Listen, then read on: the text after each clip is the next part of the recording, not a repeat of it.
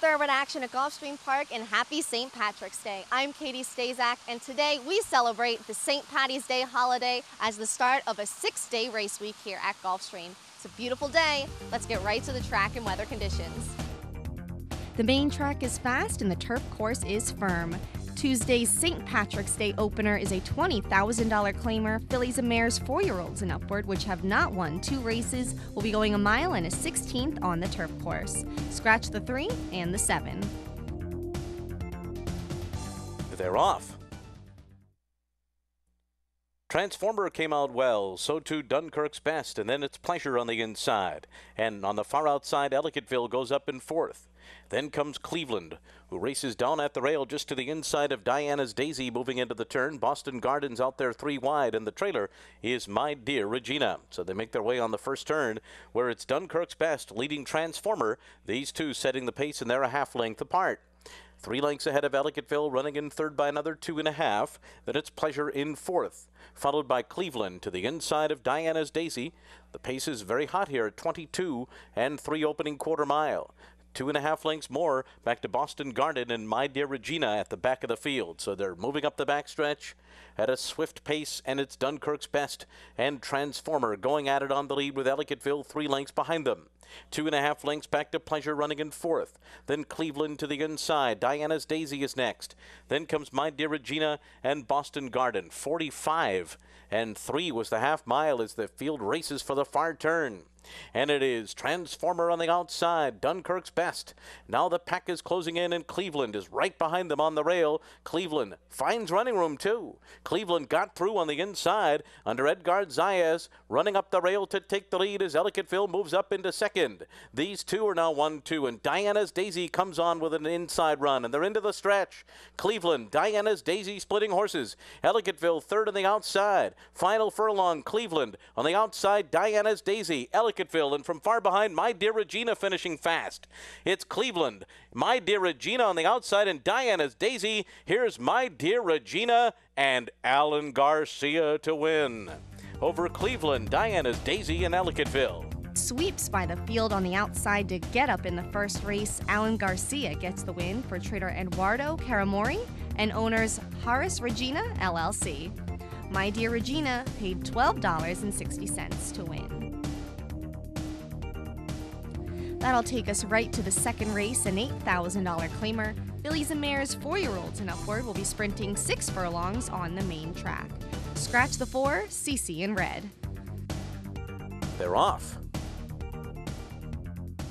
Sweet Cup and Lucasta came out of there the best. Sweet Cup to the front. Lucasta will sit second early by two. Then Double Desert in third, followed by Princess Appeal out Wildcat into the outside and Secret Memory racing at the rail. And it is Sweet Cup who clears. Sweet Cup a length and a half to Lucasta as they speed toward the half mile pole. Double Desert with three and a half lengths to make up, just ahead of Princess Appeal. Out Wildcat to the outside and Secret Memory. They went 22 and 4 for the opening quarter mile. And Sweet Cup has the lead. Lucasta closer now, only a half length apart. Double Desert well within striking range in third, two lengths off the lead. Then out Wildcat to the outside, Princess Appeal and Secret Memory at the back of the field. It is still Sweet Cup and Lucasta, one, two since the beginning, and Double Deserts coming after them three wide. The half was in 46 flat. They're into the stretch, and now on the outside, Lucasta to the front. Lucasta takes over. Sweet Cup gives way. Double Desert is coming. They're into the final 16th now. Lucasta Double Desert on the outside, Sweet Cup at the rail. Lucasta's got it. Luke Costa and Luca Panici to win. And then it was Double Desert, followed by Sweet Cup and Princess Appeal. Lucasta holds off the even money favorite Double Desert in the second race. Luca Panici was in the irons for trainer Monty Brinsley and owner PF Quadrado. Lucasta returned $16.60 for the win. And we'll be right back with more racing after these messages. Gulfstream Park is one of Florida's top entertainment destinations, mixing restaurants, clubs, a casino, and international boutique shops with world class racing. In a lavish, sun drenched setting with the feel of a Mediterranean village, Gulfstream is a leading year round entertainment and tourist destination and the home of luxury residences in 2014. The Stronach family, owners of Gulfstream Park, is committed to the sport of thoroughbred racing and the grace, spirit, and generosity of the horse. Welcome back. Here's the third race, a $6,250 claimer. Fillies and mares, four year olds and upward, which have not won three races, will be sprinting six furlongs on the main track. Scratch the four, Ariel's Flyer. Also, Leroy They're Nelson off. will be aboard the two, Giacomo's Aria. Golden Friendships out quickly for the lead. Blue Temptation came out running in second. Solitary is third. And they've separated themselves five lengths already from Centella and BB Valentine. And then it's time for Harlan, who was second last up the backstretch just ahead of Giacomo's Aria. And now they head to the half mile pole. And it is Golden Friendships joined up front by Blue Temptation, who goes right on by. Blue Temptation has taken the lead. And it looks like something's gone wrong with Golden Friendships, who's plummeting through the field. The quarter went in 22 and 3 fifths seconds. The leader is Blue Temptation now by three quarters of a length. On the outside, Solitary goes up. Centella waits for running room, third down toward the rail. Then BB's Valentine, Giacomo's Aria, time for Harlan, and Golden Friendships has been pulled up as they come to the top of the stretch. And it is Blue Temptation turning for home on the lead. And here comes Solitary up alongside. And right behind them, Centella is trying to come and get them. Solitary, Blue Temptation, and Centella. And Centella is coming up after Solitary, who keeps the lead. Solitary has it coming down to the wire. Solitary holds off Centella. Then Blue Temptation, BB Valentine fourth. Solitary puts away Centella to take the third race. Leandro Goncalves was the winning jockey for trainer Milton Wolfson and owners NTS Stable Inc. Solitary paid $7.60 to win. The fourth race is a $12,500 maiden claimer. Three year olds will be going a mile on the main track. Scratch the nine, Prince Runner. Also, Emma Jane Wilson jumps aboard the five, fourth dimension. They're off. Purpose came out well from that far outside post. Here comes Drimmer through on the inside with some early speed.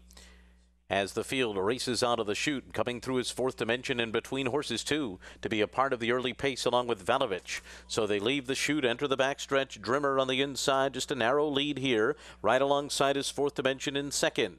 And then it's Valovich in third, far outside. Purpose fourth by two and a half. Just for fun follows fifth.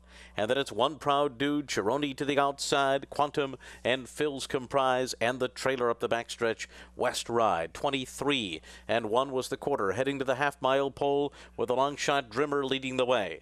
And Drimmer has opened up a two and a half length lead here on fourth dimension as they race for the turn. Then Valovich on the outside, just for fun. The favorite Purpose fifth, a 45 and three half mile, and Purpose is not keeping up right now. And then comes One Proud Dude, followed by Chironi and Phil's Comprise. Drimmer setting this hot pace. Fourth dimension on the outside comes to take on Drimmer. These two head and head up front just for fun. Third, Valovich fourth. Purpose not going on today, dropping back through the field. Drimmer the one to catch. Here's just for fun. And Tyler Gaffalione under a full head of steam on the outside and draws up alongside of Drimmer who tries to hold on to this lead. Drimmer on the rail just for fun on the outside. These two well clear the others just for fun to the front just for fun, and Tyler Gaffalione take the lead, and they're going to go on and win. It's just for fun over Drimmer, and then came Fourth Dimension and Valovich. Just for fun draws off to take the fourth race. Tyler Gaffalione was in the irons for trainer Gustavo Delgado and owners P&G Stables LLC and GDS Racing Stable Inc. Just for fun returned $7.20 for the win. That brings us to the fifth race. This is a starter allowance with an optional claiming tag of $12,500. Four year olds and upward will be going seven and a half furlongs on the turf course. No scratches or jockey changes to report. And we'll join this race in progress. The far outside concert stage, Becky's kitten in between horses, and the trailer is startup. They're tightly packed as they make their way to the backstretch in pursuit of Oak Bluffs and Luis Saez. Purely Boy, the favorite, three quarters of a length behind as they enter the back stretch. Then it's Open Outcry, Sweet Lou to the inside, Lighthouse Sound, Lakota Brave. Concert stage just three and a half lengths behind at this stage, and then Becky's Kitten and Startup. And the field continues their way up the back stretch here, where the leader is Oak Bluffs. Oak Bluffs has been there all the way so far. A three quarter length advantage over Purely Boy running in second. Open Outcry third to the outside. Sweet Lou rides the rail in fourth, two and a half lengths off the lead. And then it's Lighthouse Sound, concert stage to the outside. Start up Lakota Brave and Becky's Kitten around the far turn and they still have to come and get Oak Bluffs. Purely Boys a half length behind. Outside of them, Lighthouse Sound comes into the stretch three wide. Sweet Lou cuts the corner in fourth, and then it's Start Up and they're into the stretch, and it's still Oak Bluffs. Oak Bluffs in front, leads the way a length and a half, now opening up by two. Purely Boy is second, and then it's Sweet Lou, and to the outside comes Lighthouse Sound. It's Oak Bluffs. Oak Bluffs won it. Lighthouse Sound edges out Purely Boy for second, Sweet Lou fourth. Oak Bluffs runs off with the fifth race. Luis Saez gets the win for trainer Jamie Ness and owners Jagger Inc. Oak Bluffs paid $11.80 to win.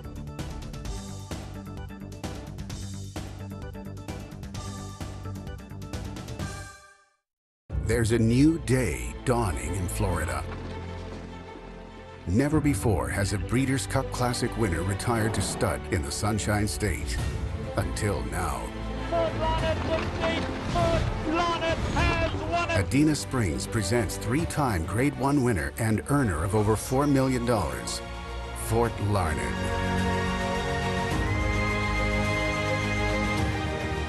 New to Adena Springs South. Glad to have you back with us. Here's the sixth race, a maiden special weight for three year old fillies. They'll be going a mile on the main track.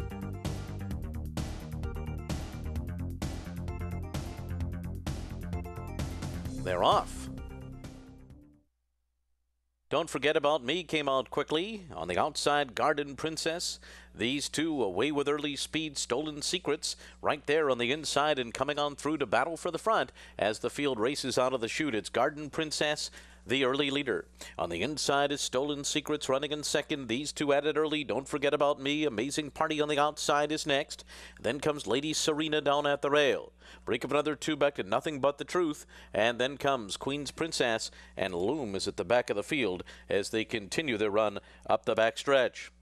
The opening quarter mile goes in 22 and 4 fifths seconds, and it's Stolen Secrets and Paco Lopez in front by a neck. Garden Princess on the outside, pressing the pace in second as they race for the turn. Amazing Party is third on the far outside.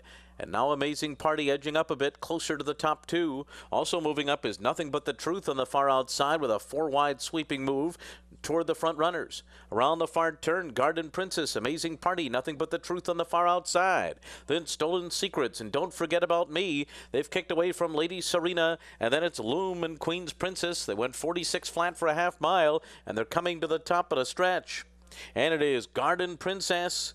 Garden Princess still clings to the lead. Nothing but the truth on the far outside. Don't forget about me. Runs on between those two. Garden Princess has the lead, though. On the outside, it's Don't Forget About Me. Garden Princess has it. And with plenty left, Garden Princess over Don't Forget About Me. And then it was Stolen Secrets and Nothing But the Truth. Garden Princess draws off nicely to take the sixth race. Javier Castellano was aboard for trainer Bill Mott and owners Whisper Hill Farm LLC. Garden Princess returned $7.80 to win. And after the race, winning jockey Javier Castellano said it really helped having a background with Garden Princess in this race. I'm always, you know, help a little bit when you ride a little bit the horse and you get used to what, what's going on. Last time I rode the horse first time, I didn't know much about it. He impressed me the way he broke out of the gate last time, and I learned a lot sobre, about the skill. Today, I mean, I'm very fortunate. She broke well out of the gate, good post. I hook I do speed a little bit, but I able to control the pace. I was aside. And the way she did very impressive because you can see in the tone of her horn when you ask her, he responded so well today. The seventh race is a $50,000 claimer. Four year olds and upward, which have not won two races, will be going a mile and a 16th on the turf course. Scratch the four, Melville. They're off. Sportscaster out for the lead. On the outside comes Boscon and Downey Gap is away running in third. They're followed by Nest of Pirates, then break even analysis on the inside and Maritime Pulpit. Quite the issue. And Sunset District will do their running later. They're at the back of the pack, six lengths off the lead, and they're led by Sportscaster into the first turn. Sportscaster on top a length and a half. Downey Gap second. Boscon third to the outside. Break even analysis rides the rail. Nest of Pirates fifth alongside. Now three lengths off the lead and two lengths ahead of Maritime Pulpit. Three lengths more back to Sunset District. Quite the issue at the back of the field at 24 and two. Opening quarter mile for Sportscaster and Corey Lanerie, who lead the way by a length over Downey Gap in second. Break even analysis, third on the inside of Bosgon. These two, two lengths ahead of Nest of Pirates in fifth. And they're followed by Sunset District, who gains ground inside of Maritime Pulpit, while Quite the Issue continues to lag behind the field, now 10 lengths behind after a 48 and 2 half mile. Sportscaster into the far turn in front. Here's break even analysis to put the pressure on now. And there within a neck around the far turn, break even analysis on the outside. Sportscaster keeps the lead. Three lengths to Boscon. Maritime Pulpit is fourth. Then comes Sunset District, followed by Nest of Pirates, and they're coming to the top of the stretch. And it is Sportscaster and Break Even Analysis turning for home together. Sportscaster gets away by two now. Break Even Analysis is second, and then comes Maritime Pulpit, followed by Bosgon. Sportscaster and Corey Lanerie coming home a winner here. Sportscaster pulling away in the end over break even analysis. And then a tight photo for third between a late closing Sunset District and Maritime Pulpit. Sportscaster turns it on in the seventh race. He wins this one easily with Corey Lanerie in the irons. Dale Romans was the winning trainer. For owners, 44 Racing. Sportscaster paid $9 to win. On to the eighth race now. This is a $35,000 maiden claimer. Three year olds will be going a mile and a 16th on the turf course. They're off. Run Saichi on the outside and Malzahn, and now Malzahn's going to take the lead. Dr. Nefario came out running in third, Don Tirso Q, Laurentino, and on the far outside it's Camerton Hall. Crown Holiday is after that, and then it's back to Shamrock Road, who is next. And they're being followed on the inside by Starship Zeus, and not handling the turn there was Depute the King, who went wide and carried out Dragon Master. They went 24 and 2 for the opening quarter mile, and Malzahn kicks on to a three length lead over Run Saichi and Laurentino as Dr. Nefario is fourth, five and a half lengths behind. Then Don Terso Q, two lengths farther back, and they're followed by Crown Holiday, who races down on the inside of Camerton Hall. And then it's back to Starship Zeus, Shamrock Road to the outside. Depute the King and Dragon Master continue to race at the back after a 48 flat half mile. And now the field races for the turn. Malzahn's lead is down to three quarters of a length. Run Saichi is second. Laurentino, Dr. Nefario. On the outside comes Camerton Hall, who's charging up three wide. Starship Zeus gets going too. After that, it's Crown Holiday, Dun Tirso Q, and Shamrock Road on the outside. Around the far turn, Run Saichi runs for the lead. Three quarters in one, 12 and two, and Run Saichi takes over at the top of the stretch. Camerton Hall on the move. Starship Zeus on the far outside, and then it's Malzahn and Dr. Nefario, and they have to come and get Run Saichi with a furlong to go. Starship Zeus second on the outside. Camerton Hall is third. Dr. Nefario fourth. Behind Run Saichi, who comes home a winner. Then Starship Zeus, Camerton Hall, and Dr. Nefario. Run Saichi leads them home on top in the eighth race. Luis Saez gets his second win of the day. This one's for trainer Teresa Pompay and owners My Purple Haze Stables, LLC. Run Saichi paid $7.40 to win.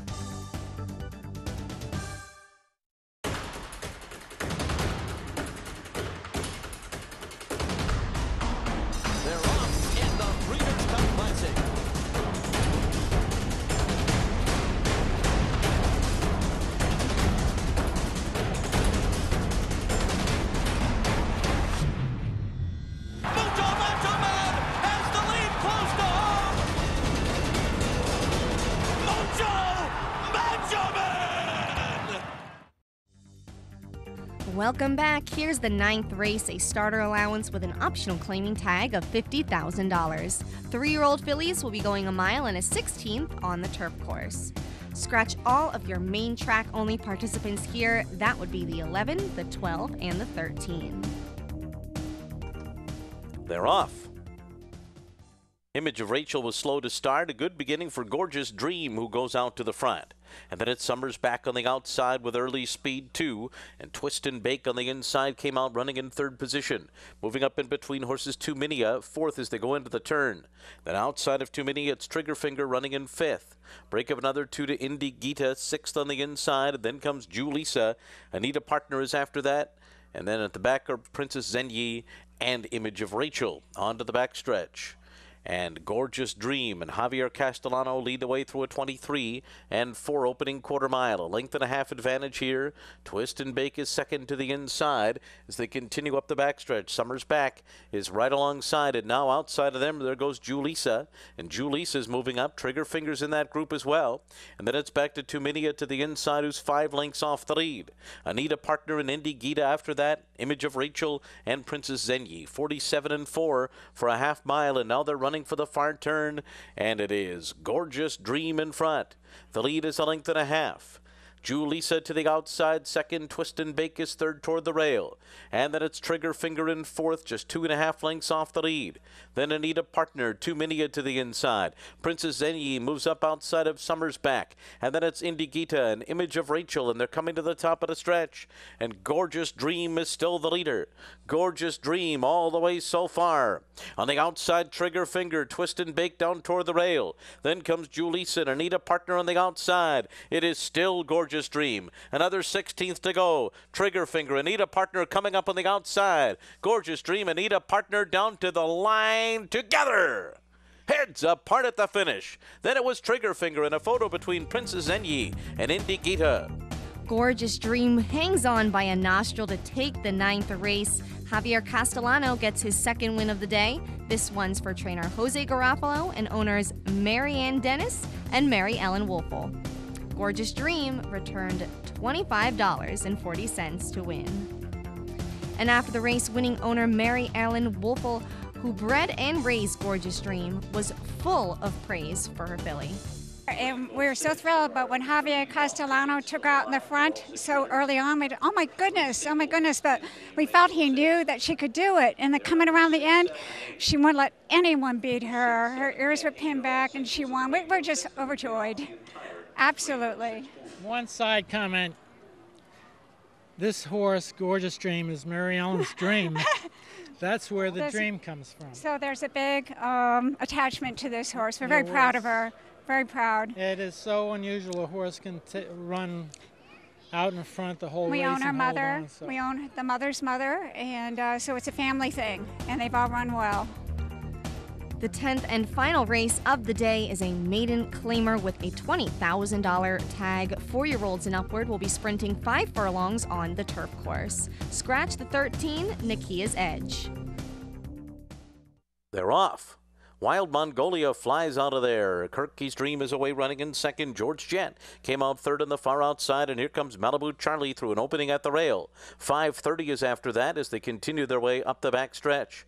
And they're being followed by I Feel Great, Love Dakota Sky, and Between Horses. Three lengths back to Successful Native. And then it's Notional's Wind, followed by Empire Road, Wild Mooches after that, and Speed Reed is last. And they're racing for the turn with Wild Mongolia on top, a 21 and 1 first quarter mile. On the far outside, I Feel Great is moving up in second. Love Dakota Sky circling up outside of George Jet. Malibu Charlie needs running room down at the rail. No place to go, and Malibu Charlie is right in behind. Wild Mongolia's got room now. Wild Mongolia, Malibu Charlie on the outside comes on. Love Dakota Sky is third. Wild Mongolia, Malibu Charlie on the outside trying to get Wild Mongolia, but Wild Mongolia keeps digging in. Wild Mongolia on the inside got there over Malibu Charlie, and then it was Love Dakota Sky, Successful Native, and I Feel Great.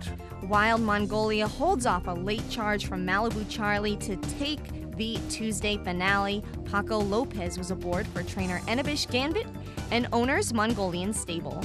Wild Mongolia returned $6.40 to win. And here are the returns from our exotic wagers. The pick 4 4 4 $613.65. The pick 5 4 of 5 $20.55. 5 of 5 $2,240.80. And the Rainbow 6 6 of 6 $9,466.06. The carryover for Wednesday's card $100,841.71.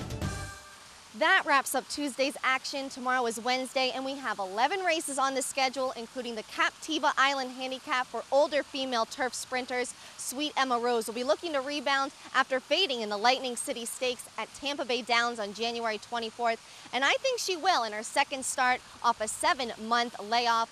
Prior to the freshening, she won the Crank It Up Stakes at Monmouth Park, going wire to wire in the five and a half furlong event. She's run well at Gulfstream in the past, having finished first and second in her two starts over this turf course, and she has plenty of back class too, having finished second in the Group 2 Queen Mary Stakes at Royal Ascot as a two-year-old.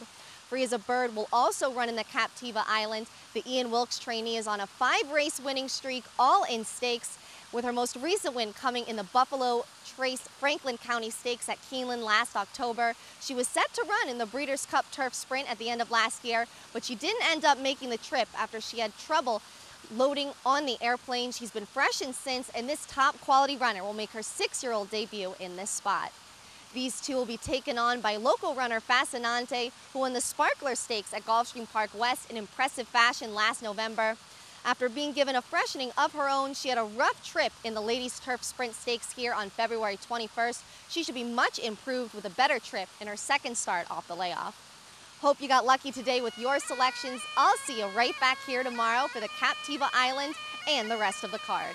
Thanks for watching Thoroughbred Action at Gulfstream Park. I'm Katie Stazak.